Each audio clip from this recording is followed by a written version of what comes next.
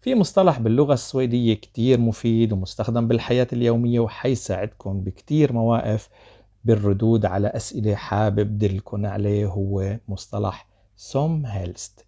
som helst هذا لما أنت ما بتكون فارقة معك وين ما كان مين ما كان كيف ما كان بأي وقت كان فيك تستخدمه som helst.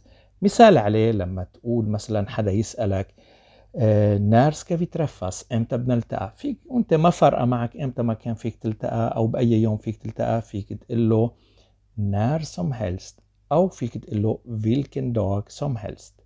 وكمان مثال آخر لما مثلا حدا يسألك أي وحدة من هيدول بدك vilken av dom här vill du ha فيك تقول له أنت إذا ما فرقة معك vilken som helst.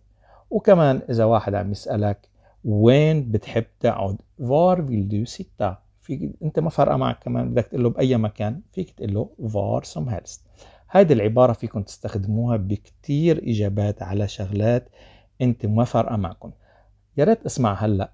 دوركم بالكتابة بالتعليقات عبارة som helst بإجابة على أي سؤال أنتم بتختاروا.